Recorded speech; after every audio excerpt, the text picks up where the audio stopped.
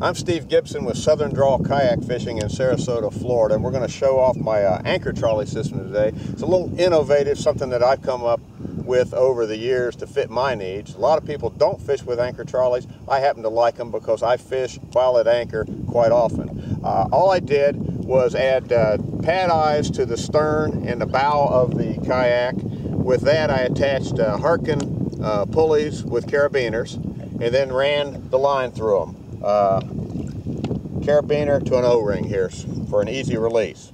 My anchor uh, line attaches to the O-ring just like that with a clip. And it's brass by the way, which uh, withstands salt water. Uh, and then, this is pretty neat. This is something different. My anchor is a five pound foam covered dumbbell, hand dumbbell which works really well. And I found that if it's too windy for this to hold, you shouldn't be out on the water. So it holds real well.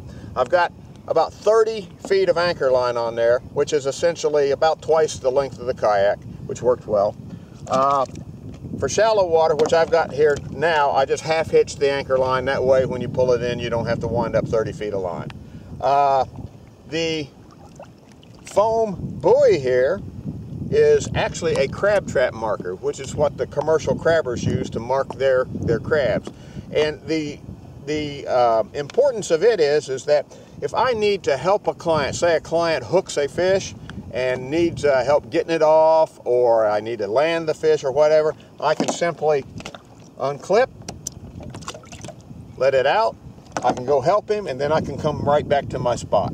Also, if I'm fishing alone and I hook a big fish, it's going to take me into the mangroves or whatever, makes a big long run, and I need to chase that fish, I can unclip, chase the fish, land it, hopefully do what I want, and then go right back to my spot.